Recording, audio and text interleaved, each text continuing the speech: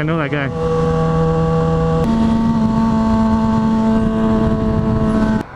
What's up? What's up, dude? Where you going? Oh, huh? Nah, I just seen you. I was gonna go wash my back actually. Oh, dude, I'm, I'm gonna I'm about to ride with Oh, are you? out to I was gonna come see if you were gonna go riding today. Yeah, dude, we're going right now. I'm actually late. They're waiting for me. I mean, they can wait. Let's go. Let's go. They're, they've been waiting like an hour for me.